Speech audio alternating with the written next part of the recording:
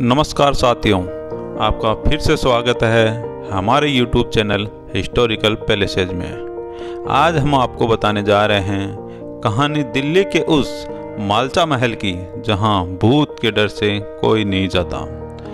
मालचा महल दिल्ली के उन जगहों में से एक है, जहाँ लोग आज भी जाने से पहले कई बार सोचते हैं, और बाकी लोग वहाँ न जाने की चेतावनी देते हैं। माल्टा महल का इतिहास 700 साल पहले शुरू हुआ था। जिन ही भाइयों ने हमारे चैनल को सब्सक्राइब नहीं किया, वो जल्द से जल्द कर दें। अब इस मालचा महल का क्या है इतिहास, वो आपको हम विस्तार से बताने जा रहे हैं। दिल्ली के चाणक्यपुरी में सरदार पटेल मार्ग पर जंगल में करीब डेढ़ किलोमीटर अंदर यह स्मारक स्थित है। इसे मालचा महल या मालचा विस्तरी कहा जाता है।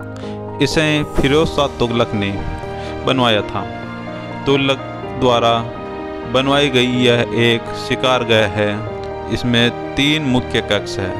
बीच वाला कक्ष बड़ा है। यह लगभग चौकोर है।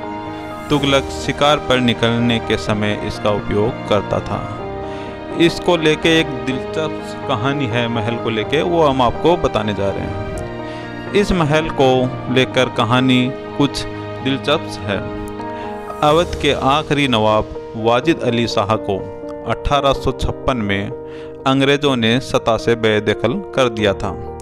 उन्हें कोलकाता जेल में डाल दिया गया, जहाँ उन्होंने अपने जीवन के आखिरी 26 साल गुजारे, जब 1947 में देश को आज़ादी मिली, तब तक वाजिद अली शाह का ख़ानदान इधर उधर बिखर चुका था। बेगम विलायत महल 1970 कैद के करीब लोगों के सामने आई। उनका दावा था कि जो अवध के अंतिम नवाब वाजिद अली शाह की परपोती है।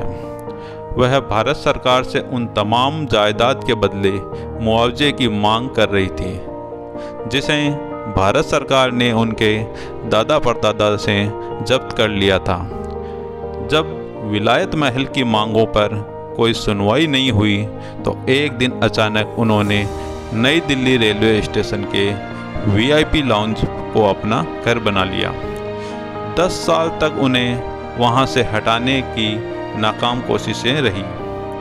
आखिरकार सरकार ने उन्हें माल्टा महल दे दिया। विलायत महल ने सरकार के इस प्रस्ताव को स्वीकार कर लिया और बेटे प्रिंस अली रजा और बेटी सकीना महल के साथ मालचा महल में आ गई। वो अपने साथ आठ कुत्तों को भी लेके आई थी। बस ये नाम का महल था। न तो इसमें बिजली थी न पानी और ना ही खिड़की दरवाजे। जंगली जानवरों को रोकने के लिए इस महल में चारों ओर से लोहे की जालियाँ लगी थी। बेगम विलायत महल और प्रिंस अली रजा के जीते जी यहाँ किसी को कदम रखने की इजाज़त नहीं थी। वो आम लोगों के मिलना पसंद नहीं करते थे। न तो कोई वहाँ आता था और न ही वो कहीं जाते थे। महल के बाहर मोटे अक्षरों में लिखा था कि यहाँ प्रवेश करना मना है, नहीं तो गोली मार दी जाएगी। मालचा महल में आने के तकरीबन 10 साल बाद बासठ साल की उम्र में बेगम विलायत महल ने आत्महत्या कर ली थी। कुछ साल पहले बेगम सकीना महल भी गुजर गई। प्रिंस अली रजा कई साल से बेहद गरीबी में अकेले रहते थे। नवंबर 2017 में उनका भी देहांत हो गया। कहा जाता है कि भूख से उनकी मौत हो गई। मौत के बारे में करीब एक माह बाद पता चल सका। बता दें कि इस महल तक पहुँचना कठिन है। जंगल में करीब डेढ़ किलोमीटर सड़क के द्वारा एक सकड़ा रास्ता ऊंचाई की ओर जाता है। जिस पर करीब 30 मीटर आगे जाने पर एक खंडर दिखाई देता है। अब यह खंडर चमकादड़ों को भरा पड़ा है। नवाब के परिवार के लोगों का टूटा फूटा सामान यहाँ बिखरा पड़ा है। कुछ लोग इसे भूतिया महल कहते हैं और वे इसे इसी नज़रिए से देखते हैं।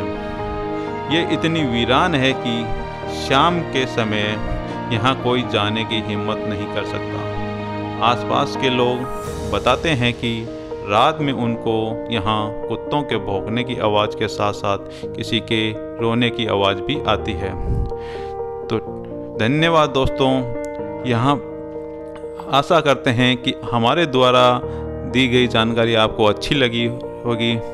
तो हाँ आप हमारे चैनल को सब्सक्राइब ज़रूर कर लें ताकि ऐसे ही वीडियोज़ आपको और मिल सकें। और अगर आप किसी भी जगह के बारे में वीडियो चाहते हैं तो हमें कमेंट करके ज़रूर बताएँ ता, ताकि हम उस जगह पर वीडियो बना सकें। तो धन्यवाद दोस्तों फिर मिलेंगे एक नए वीडियो के साथ तब तक